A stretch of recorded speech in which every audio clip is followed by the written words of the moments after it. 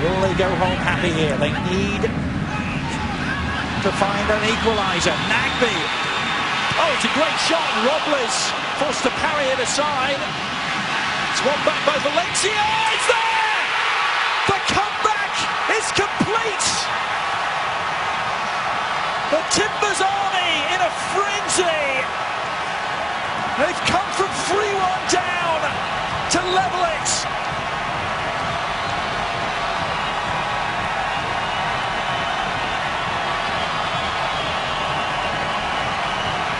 Well, deservedly so. Portland has come out and dominated this second half.